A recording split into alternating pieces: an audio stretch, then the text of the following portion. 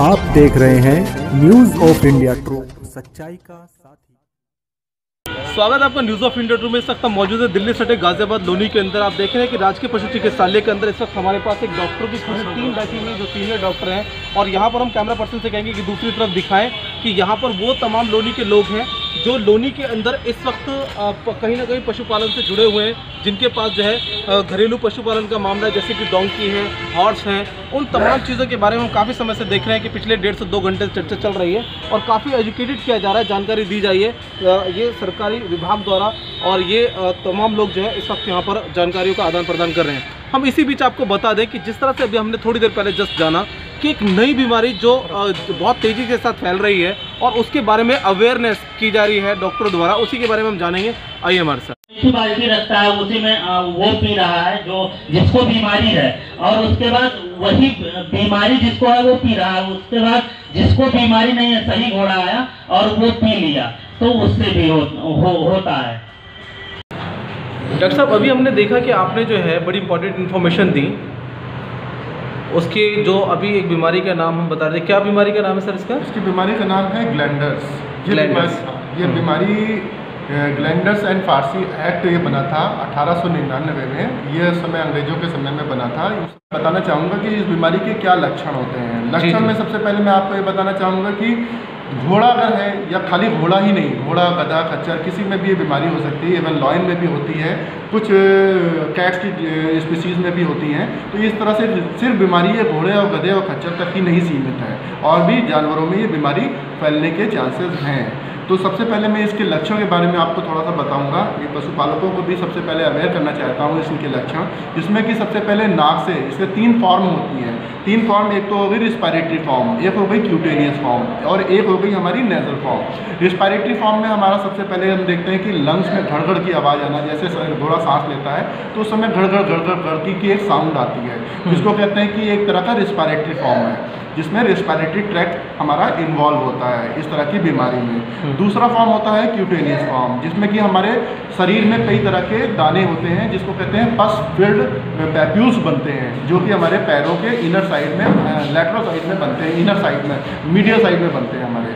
तो ये एक तरह का पैप्यूल्स अगर हम इसको बहुत ही देसी भाषा में बताना चाहें तो पस से भरे हुए छोटे छोटे दाने होते हैं, जो कि घोड़े में आ जाते हैं। और ये दाने सिर्फ़ ग्लैंडर्स और फार्सी में ही नहीं होते हैं, और भी बीमारियों में होते हैं, लेकिन जैसे ही इस तरह का सिम्टम्स आता है कि क्यूटेनियस फॉर्म या कि दाने निकलते हैं, या फिर रिस्पायरेटरी फॉर्म जिसमें घड़घड़ की आवाज़ आती है, तीसरा फॉर्म जो नेजल फॉर्म होता है, जिसमें कि नाक से प्यूरेंट डिस्चार्ज जिसको कहते हैं कि पस जैसा जैसा कि बच्चों की नाक बहती है पीली कलर की वैसे ही इसमें एक डिस्चार्ज आता है। तो तीसरा तीसरा सिम्टम्स या तीसरी फॉर्म इसकी ये होती है। इन तीनों फॉर्म में से किसी भी फॉर्म में अगर हमें सबसे पहले ये दिखता है कि इस तरह का कोई भी सिम्टम्स किसी भी में भी आ सकता है। ज़रूरी नहीं है कि किसी घोड़े में अगर नाक बह रही है तो उसमें रिस्पायरेटरी फॉर्म भी होगा। मतलब गड़गड़ की आवाज़ भी आएगी। किसी में गड़गड़ की आवाज़ आ सकती है किसी में क्यूटेनियस फॉर्म मतलब दाने निकल डॉक्टर साहब एग्जैक्टली एक्चुअली एग्जैक्टली जो ये भी अभी जिस बीमारी के लिए अवेयर कर रहे हैं फारसी नाम की एक बीमारी जो आप बता रहे हैं ग्लैंडर्स एंड फारसी तो ग्लैंडर एंड फारसी के लिए अभी तक क्योंकि ऑलमोस्ट आपने बताया कि बहुत लंबे समय से अंग्रेज़ों के टाइम से ये मामला चला आ रहा है। जी तो इसके लिए भी कोई इलाज नहीं है प्रॉपर हाँ कई ऐसी तो बीमारियाँ सर हैं एक- मैं आपसे ये पूछना चाहता हूँ कि इसमें एग्जैक्टली अभी तक जो रिसर्च हुए हैं अभी तक उसमें से इस बीमारी को एक आम आदमी क्योंकि एक ही सिम्टम और अदर्स बीमारियों के भी हो सकते हैं। लेकिन इसके लिए कोई जस्टिफाई किया है कि कौन सा सिम्टम एग्जैक्ट इसके लिए है? यस इसका सिम्टम सबसे पहला जो मैंने बताया नेजल डिस्चार्ज होएगा और क्यूटेनियस फॉर्म जो कि पस फ़ील्ड दाने होंगे। जो सबसे- filled? जो है ये सबसे ये है। सबसे स्ट्रॉन्ग सिम्टम्स है जैसे ही आने लगे और. घड़घड़ की आवाज़ साथ में आ सकती है। तो ये जैसे ही आने लगे तो आप ये समझ लीजिए कि आपका घोड़ा इस बीमारी के लिए सस्पेक्टेड हो गया है।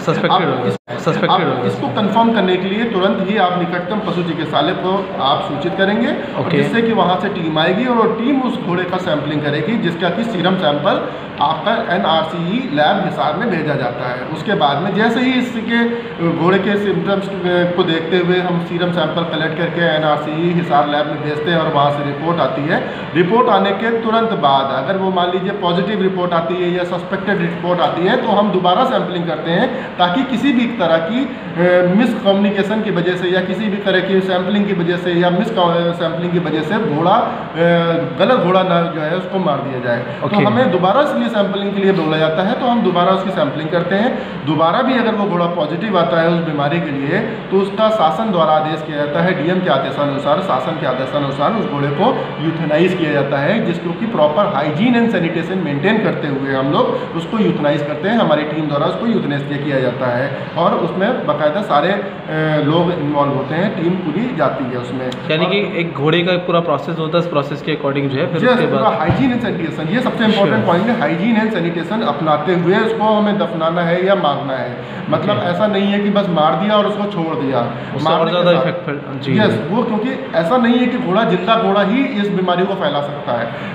मरने के बाद में भी अगर उसके सौ को भी हम प्रॉपर तरह से निस्तारित नहीं करते हैं तो वो बीमारी फैलाने के लिए प्रोन हो जाएगा। इसलिए हमें इस बीमारी को बहुत ही ज़िंदा के तो, साथ साथ तो डॉक्टर साहब ये पूरे उत्तर प्रदेश में अभियान चल रहा है या बिल्कुल पूरे उत्तर प्रदेश में अभियान चल रहा है और साथ साथ उत्तर प्रदेश के अलावा भी ये दिल्ली वगैरह में भी इस तरह के कुछ केसेस देखे गए हैं अच्छा। जिसके कारण इस बीमारी का बहुत ही इम्पोर्टेंस इन हमारे देश के उसमें भी है क्योंकि दिल्ली हमारे अभी सर आपका थोड़ा देर पहले जो है आपका प्रोग्राम कवर कर रहे थे तो उसके अंदर हमने हमने सुना था जब आप बता रहे थे हम आपसे जानना चाहेंगे आप एक बात कह रहे थे डॉक्टर साहब कि उसके अंदर ये इस बीमारी से जो है लोग भी मर सकते हैं जो उनको चारा दे रहे हैं उनको उनकी देख रेख कर रहे हैं वो वो उनको कैसे इफ़ेक्ट कर सकता है? इसके बारे में बताइए। ये जूनोटिक डिज़ीज़ है। हाँ। जूनोटिक का मतलब यह है कि जो जानवर में जो बीमारी कुछ ऐसी बीमारियाँ होती हैं जो जानवर में होती हैं इसके बाद उनके कांटेक्ट में रह के वो आदमियों में भी फैल सकती हैं।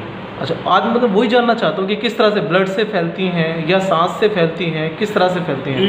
इनहेलेशन से भी जैसे वो कंटामिनेटेड अगर रहा है तो उसके म्यूकस म्यूकस अगर उसके उसमें हो गए तो वो इन्वॉल्व करके वो तो अगर हम डॉक्टर साहब माने तो बात ये कह सकते हैं कि उसके जो जो वो नेजल्स के द्वारा एयर ले रहा है ऑक्सीजन ले रहा है उसके साथ फिर वो जो कार्बन डाइऑक्साइड निकलती है ऑलमोस्ट आदमियों में भी सब में यही होता है लेकिन उसके साथ वो बैक्टीरियाज निकल सकते हैं और आदमी को लग सकते हैं। बिल्कुल ये बीमारी जैसा कि आपने ये आपका बहुत इंपॉर्टेंट क्वेश्चन है। हम्म। क्योंकि ये इंपॉर्टेंट क्वेश्चन इसलिए नहीं है सिर्फ़ क्योंकि आपको ये जो है हमें इसके बारे में बताना है। इसके बारे में अवेयरनेस के लिए भी हमें ये इंपॉर्टेंट क्वेश्चन है। क्यों? क्योंकि ये बीमारी की रोकथाम सिर्फ़ की जा सकती है क्योंकि इसका कोई इलाज नहीं है। तो सबसे पहले हमें ये पता होना चाहिए कि ये बीमारी फैलती कैसे है। जो आपने हम्म। क्वेश्चन पूछा बहुत ही अच्छा क्वेश्चन था। इस क्वेश्चन के लिए मैं आपको बधाई दूँगा कि आपने बहुत ही अच्छा क्वेश्चन उठाया।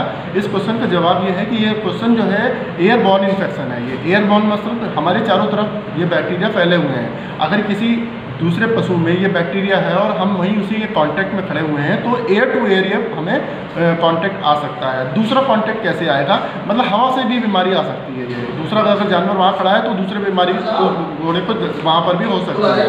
दूसरी बीमारी ये अगर जिस घोड़े ने जिस जगह पानी पिया है खाना खाया है उसके उसी बर्तन में दूसरा घोड़ा पानी या वो खा सक खाएगा तो भी ये दैट इज़ कांटेक्ट बेसिस पे हम्म। एक एयरबॉर्न इन्फेक्शन हो गया एक हो गया कांटेक्ट बेसिस पे इन्फेक्शन हम्म। वो उसके कांटेक्ट में एक घोड़ा दूसरे के है। अगर Yes, में है वो- और अगर वो घोड़ा किसी दूसरे इंसान के कांटेक्ट में आ रहा है तो ये घोड़ा घोड़े से जा, ये जानवर से जानवर में जानवर से इंसान में और इंसान से इंसान में फैलने वाली बीमारी है अगर ये फीमेल घोड़े में होता है और वो प्रेग्नेंट घोड़ी होती है तो उसके उससे उसके बच्चे को हो सकता है। बिल्कुल हो सकता है हो क्योंकि सकता वो उसके कांटेक्ट में आ रहा है किसी भी तरह से कांटेक्ट अगर है चलिए डॉक्टर साहब बहुत बहुत शुक्रिया आपने बड़ी इंपॉर्टेंट जो है सवालों का जवाब दी तो आपने देखा ये थे हमारे साथ डॉक्टर साहब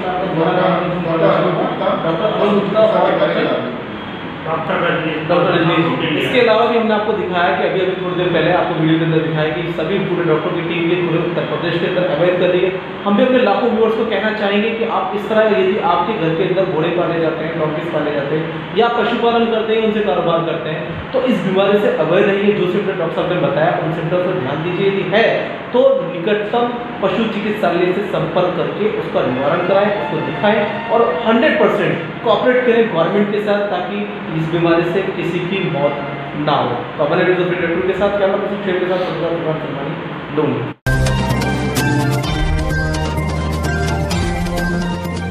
आप देख रहे हैं न्यूज़ ऑफ़ इंडिया ट्रू सच्चाई का